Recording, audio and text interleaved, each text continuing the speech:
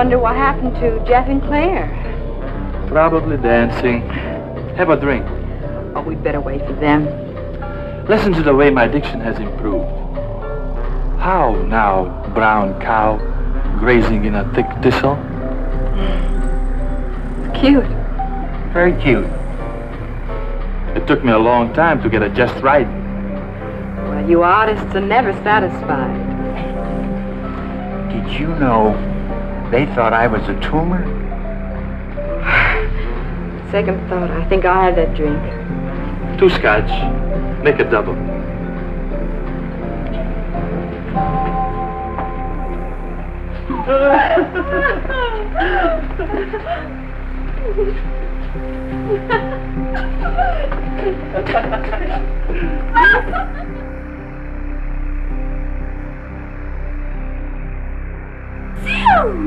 Ladies and gentlemen, Vous écoutez Close-up dramatique, le balado sur les actrices de l'âge d'or d'Hollywood. Oh, for a man. En 1964, Jane Mansfield annonce à la presse son divorce avec l'un des Messieurs Univers, Mickey Hargitay. C'est la triste conclusion d'une relation qui a fait rêver des millions d'Américains et surtout de l'un des couples les plus médiatisés de leur époque. Desire to enjoy life. It's a 24 hour a day job. I think uh, a person to exist as a star is one thing, and a person to exist as an actress is another.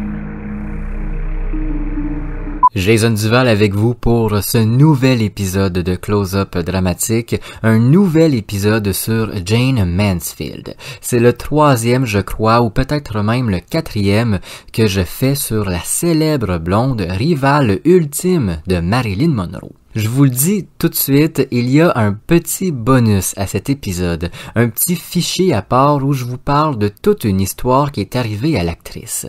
On ne sait pas si c'est une mise en scène ou si c'est vraiment, pour de vrai, arrivé.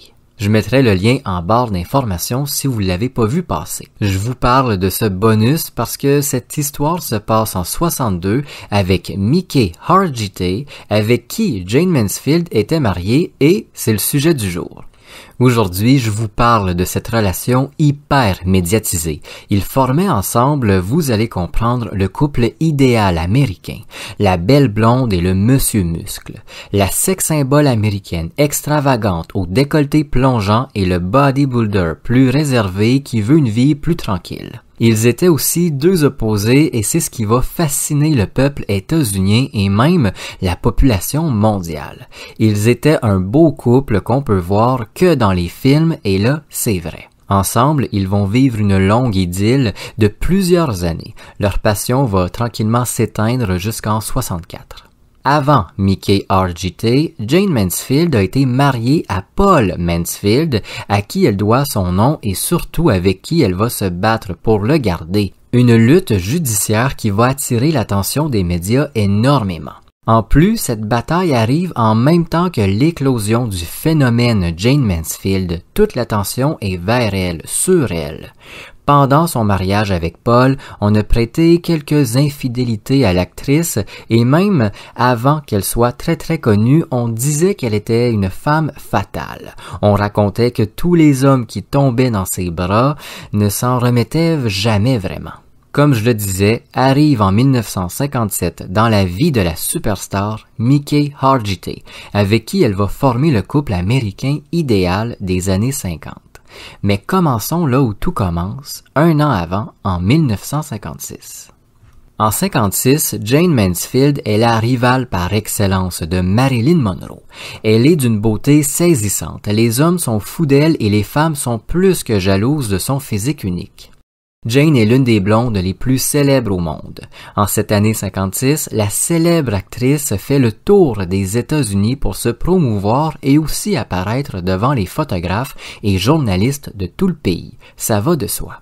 À ce moment-là, elle est aussi en train de finaliser son divorce avec Paul Mansfield, avec qui, vous l'aurez compris, c'est un peu complexe. En plus de la bataille judiciaire pour le nom de Mansfield, la garde de leur fille, Jane Mary, fait beaucoup jaser. Histoire complexe que je vais résumer en quelques mots. Paul Mansfield affirme à la justice que sa future ex-femme n'est pas en mesure de s'occuper de leur fille. Avec sa carrière et son ambition, elle ne peut pas se consacrer suffisamment à elle. Fin de la parenthèse. Le 13 mai 56, le sex symbole se retrouve dans un nightclub très huppé de New York. Elle participe à un événement médiatique, mais surtout assiste au spectacle de la célèbre Mae West.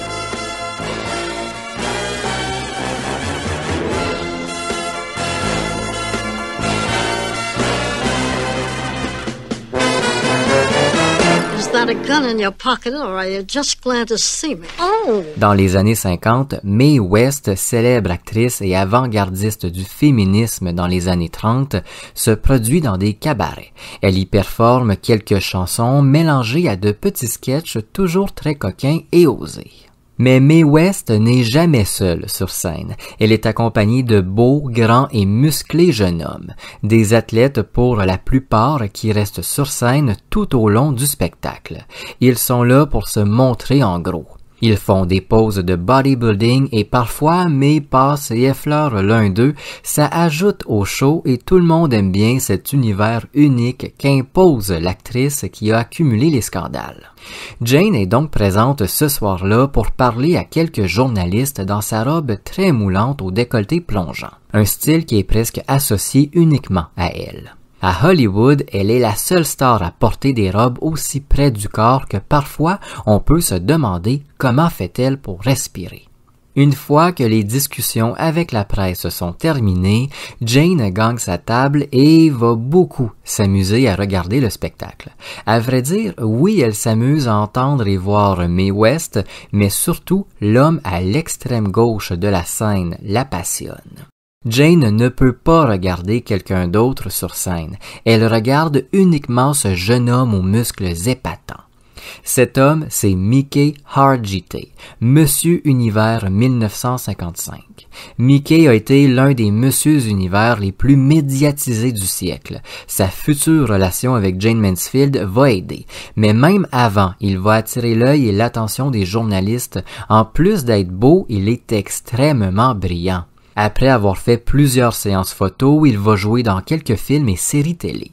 En 56, il apparaît sur scène aux côtés de Mae West en tant que mannequin vivant. Le 13 mai 56, Mickey aussi remarque Jane Mansfield dans la salle. Faut dire que, selon ses propres dires, l'actrice est difficile à ne pas remarquer. Quand elle entre dans une pièce, sans le vouloir ou en le voulant parfois, elle attire l'attention de tout le monde. On peut s'imaginer qu'ils échangent des regards jusqu'à ce que le serveur arrive et demande ce que Madame Mansfield prendra pour manger. Jane lui répond Un steak et l'homme à gauche, s'il vous plaît. Ce soir-là, après le spectacle, la blonde et le bodybuilder vont se rencontrer et parler pour la toute première fois. Dès cette soirée de mai, une chimie plus que forte va opérer et les deux célébrités vont se revoir à de nombreuses occasions par la suite.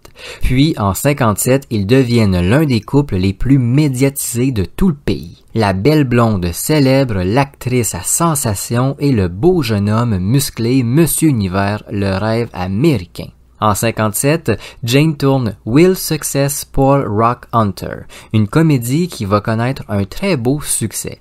Elle demande à faire apparaître Mickey l'espace de quelques secondes dans le film. C'est la première fois qu'ils sont à l'écran ensemble. Ils sont partout et l'actrice fait tout pour que sa relation reste dans les médias. La même année, la blonde doit partir à travers l'Europe pour se promouvoir. Un voyage qui doit durer plusieurs semaines, voire plusieurs mois si les Européens sont gourmands. Ce voyage de promotion se fait avec une équipe restreinte. Jane doit alors se séparer de sa nouvelle flamme. Que ce soit organisé par l'actrice elle-même ou son équipe de promotion, le départ de Jane Mansfield vers l'Europe est largement mis en scène. On invite les médias à venir assister à la séparation déchirante de l'actrice. Juste avant de monter dans l'avion, elle prend la pause pour les photos, embrasse Mickey avant d'éclater en sanglots et de l'enlacer langoureusement. Avant de quitter le pays, elle embrasse tendrement sa fille également, Jane Mary, qui assiste à cette mise en scène énorme. Jane avait déjà parlé que son amoureux était un beau-père idéal. Il est logique qu'il emmène Jane Mary pour dire au revoir à sa mère avant de l'amener à son vrai père. L'actrice monte les marches de l'avion en se cachant derrière un mouchoir. En Europe, la blonde parle oui de sa carrière, apparaît devant les Européens époustouflée devant son look extravagant et parfois à la limite de la vulgarité. C'est la première fois, ou l'une des premières fois en tout cas, que l'Europe est confrontée à une femme comme Jane Mansfield, une star à l'américaine. En plus de se montrer sous toutes les coutures, Jane parle de son amour, Mickey Hargitay. Elle explique brûlée de désir de se retrouver entre ses bras. Elle est très heureuse de faire un tour de l'Europe, mais elle a surtout très hâte de quitter le continent pour se retrouver avec lui. En novembre 57, la blonde revient aux États-Unis, tout comme à son départ. Son arrivée est mise en scène. Mickey Hargitay, toujours accompagné de Jane Mary, l'attend au terminal de l'aéroport avec un immense bouquet de fleurs à la main. En l'apercevant, l'actrice éclate en pleurs et court vers lui. Elle embrasse sa fille et enlace son amoureux avec passion pendant que les flashs des journalistes éblouissent tout le monde alentour. Une fois leur intimité regagnée, Mickey demande Jane en mariage à genoux. Selon le magazine W, la bague de 10 carats ornée de diamants avait une valeur de plus de 25 000 dollars. C'est une belle bague. Sans surprise, on annonce que l'actrice et le mannequin vont se marier très bientôt, mais il y a un hic, des hicks plutôt, que la presse ne va pas se gêner à parler. Jane Mansfield est toujours en procédure de divorce avec Paul, mais Mickey RGT est lui aussi aux prises avec une ex-femme qui accumule les poursuites à son égard. Malgré toutes les précautions prises, leur vie privée et leurs complications va faire la une des journaux et magazines. Ça devient presque un roman savant. Au début de l'année 58, la célèbre blonde annonce que son mariage sera une cérémonie privée et intime. Pas d'extravagance et une liste d'invités triée très sévèrement. Pour une fois, l'extravagante blonde semble vouloir la discrétion. C'est pas ce qu'il va arriver, malheureusement. Well, Miss Mansfield, you've had a, a controversial touring. Personally, I think she's been a has-been. Le moins qu'on puisse dire lorsqu'on vous voit, Jane Mansfield, c'est que vous provoquez un certain choc. She's a film actress. I don't see anything wrong with her. Sex appeal is a wonderful, warm, womanly, healthy feeling. I can't think of anything else right now. I like to be asked serious questions, but not foolish ones. I guess I'm like most everyone else in that respect. I think the eyes are act as a mirror of the soul. I think that European pictures are more progressive, more artistic. Elle a été entièrement fabriquée par la publicité. I feel that my figure has been publicized much more than my intellect, and I would like to change that. I always have an answer. You're presented as a symbol of sex appeal. But my private life, and when I say private life, I mean private life is always very private.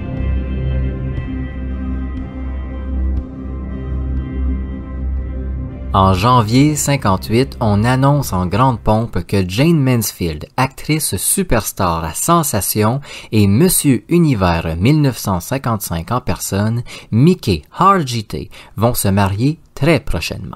Ensemble, ils forment le couple idéal du rêve américain et ce depuis quelque temps déjà. Le mariage, selon Jane Mansfield et ses désirs, sera une cérémonie intime et privée qui aura lieu le 13 janvier 58, une date qui n'a pas été laissée au hasard. Elle et son futur mari se sont rencontrés un 13 et selon l'actrice, Mickey a gagné le plus célèbre prix de sa carrière, également un 13. Le 13 janvier 58, le mariage a bel et bien lieu mais ne va pas se passer exactement comme le couple le désirait. Au départ, c'était un peu moins d'une centaine d'invités qui étaient conviés à la cérémonie. Un nombre que Jane trouvait raisonnable, tandis que Mickey trouvait que c'était déjà un peu trop. Pour une raison que l'on ignore, mais vraiment, c'est finalement plus de 1000 personnes qui assisteront au mariage. Le mariage intime va vite devenir un vrai cirque médiatique. En plus des 900 invités qui s'ajoutent, c'est plus de 1500 journalistes, photographes et médias des quatre coins de la planète qui envahissent la cérémonie. La sécurité va perdre le contrôle, l'enthousiasme de certains fans et des curieux va créer quelques incidents mineurs comme des bousculades par exemple. Il y a tellement de monde dans les rues d'Hollywood et le trafic créé est tel que Mickey ne peut presque pas se rendre à son propre mariage. Il reste bloqué avec sa voiture pendant de longues heures avant d'arriver en retard. Vous comprenez que le mariage discret que voulait la blonde s'est transformé en une espèce de cirque chaotique où tout le monde s'entasse pour entrevoir les nouveaux mariés. Jane était une femme brillante. Elle savait que sa popularité tenait à sa personnalité, à son personnage de blonde de bombe sexuelle extravagante. Toute sa carrière, elle a su se mettre en scène, se montrer un peu partout, elle savait comment attirer l'attention mieux que personne. C'est un peu ce qui va la brûler d'ailleurs dans les années 60. Après le mariage, elle va organiser plusieurs sorties médiatiques au bras de son nouveau mari. C'est des apparitions qui ont pour but de mousser davantage et encore plus sa popularité et son personnage de pin-up. On assiste à quelques incidents entre guillemets comme des bretelles qui éclatent devant les paparazzis qui fait en sorte que l'actrice se retrouve presque seins nus. Ou encore, on demande à des photographes et journalistes de se rendre dans la loge de madame Mansfield RGT et finalement, par pur hasard, la presse surprend le couple en début bas amoureux. Déjà en 58, le public commence à se lasser de ces faux incidents et de cette extravagance de la blonde.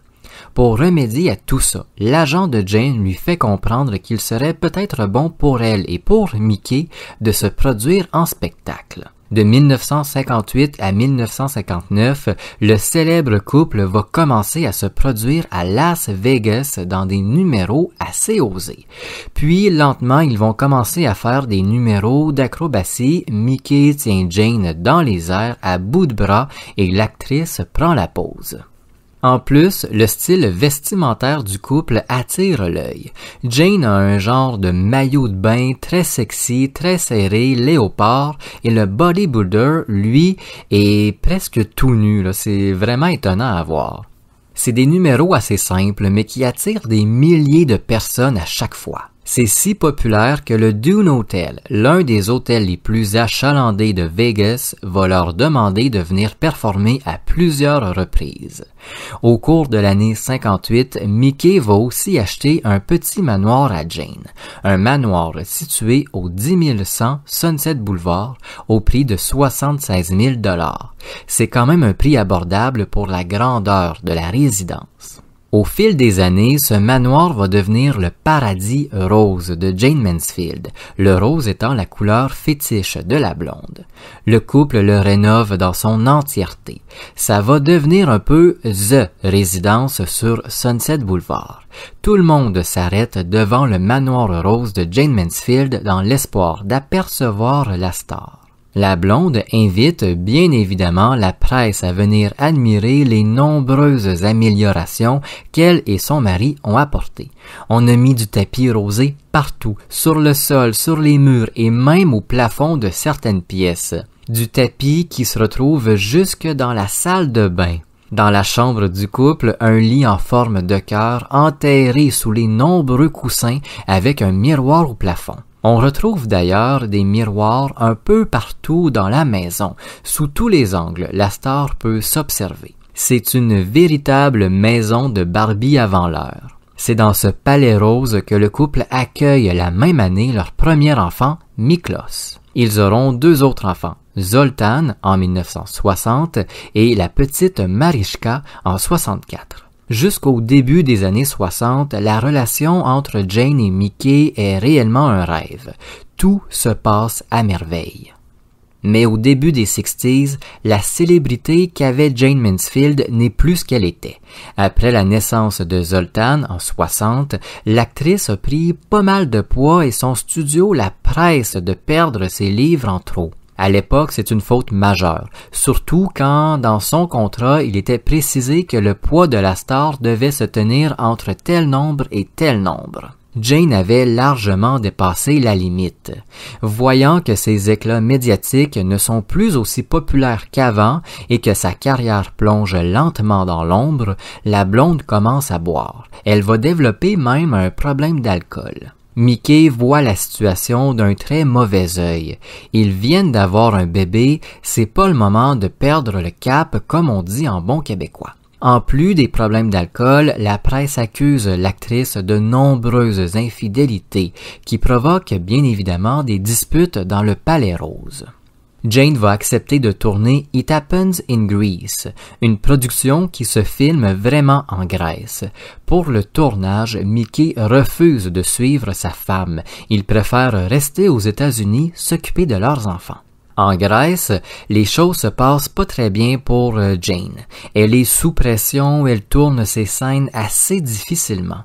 Elle n'a pas vraiment appris ses lignes et en plus, les médias la suivent partout. Ses moindres faits et gestes sont épiés. Pendant la production du film, Jane va très bien s'entendre avec sa co-star, Trax Colton. Il est séduisant, la presse le décrit comme une gueule d'ange qui cache peut-être une âme rebelle. Ils vont si bien s'entendre que tout le long du tournage, ils vont se fréquenter et partager la même chambre d'hôtel. Ils vont beaucoup s'amuser. C'est la première tromperie officielle de Jane Mansfield, la première d'une longue série qui va durer jusqu'en 63 quand la blonde demande le divorce. L'annonce fait la une des journaux, c'est la nouvelle de l'heure. Tout comme en 62, quand Jane se retrouve échouée dans les Bahamas, c'est le sujet de l'épisode bonus, allez écouter après, vous allez comprendre, l'actrice se retrouve partout. En plus, Jane ajoute qu'elle aime passionnément son agent Enrico Bomba. C'est sa nouvelle flamme. Elle quitte Mickey pour son agent. Le couple va se réconcilier, Bomba va quitter Mansfield et le divorce va être annulé. Le Palais Rose regagne sa tranquillité. Cette tranquillité va pas durer très longtemps. En 64, Jane Mansfield et Mickey Hargitay sont mariés depuis sept ans. Ils viennent d'accueillir leur troisième enfant ensemble, la petite Marichka. Après la naissance de la petite fille, il va y avoir de nouvelles rumeurs d'infidélité qui vont affecter le couple. Tout comme pour Marilyn, on croit que Jane a une liaison enflammée avec John F. Kennedy, le président des États-Unis. Une liaison qui est que rumeur, je précise. Avant le milieu de l'année 64, devant la presse, ils annoncent leur divorce. Cette fois-ci, l'actrice l'affirme, c'est officiel. Il n'y a plus rien entre elle et le bodybuilder. Jane Mansfield annonce qu'elle est tombée en amour avec Matt Simber, le directeur de cinéma. Une relation qui va pas durer. Jusqu'à sa mort, dans un accident de voiture en 67, Jane Mansfield va garder Mickey Argite très près d'elle. Il y aura plusieurs rumeurs de réconciliation et même d'un nouveau mariage entre les deux stars. Des rumeurs que la blonde dément en expliquant qu'ils sont que de très bons amis. Une amitié qui va irriter énormément Sam Brody, le dernier compagnon de l'actrice. Sam et Mickey vont pas très bien s'entendre d'ailleurs. Brody était très jaloux, il savait que Jane avait accumulé les infidélités au cours de sa vie et essayait de la contrôler le plus possible. Et bien évidemment, la place de Mickey Hargitay dans sa vie était très mal perçue par lui. Mickey a raconté assez souvent avoir parlé à Jane la nuit de sa mort. Il explique que la blonde lui a téléphoné dans une cabine téléphonique, se plaignant du mauvais temps et du brouillard qui rendait la vision très mauvaise sur la route. Mickey lui aurait dit d'attendre le lendemain matin avant de prendre la route, mais c'est à ce moment-là qu'il aurait entendu Sam Brody dire à Jane de raccrocher qu'ils avaient pas le temps de parler. Brody aurait forcé l'actrice à raccrocher. C'est comme ça que s'est terminée la dernière conversation qu'ils ont eue. I want to do all kinds of parts. I want to do as many serious roles as I do comedy roles. Jusqu'à sa mort en 2006, Mickey Hargitay parlera avec tendresse de Jane Mansfield et ira très souvent poser des fleurs sur sa tombe. Nul ne peut douter que la blonde et Monsieur Univers se sont passionnément aimés. I feel that My figure has been publicized much more than my intellect, and I would like to change that. But my private life, and when I say private life, I mean private life is always very private. Merci d'avoir écouté Close-up dramatique. Si vous le voulez, vous pouvez laisser une note à cet épisode ou même au balado, peu importe la plateforme d'écoute. N'hésitez pas à laisser un commentaire, ça aide grandement au référencement de Close-up dramatique et ça ouvre la discussion. On se retrouve très bientôt pour un nouvel épisode.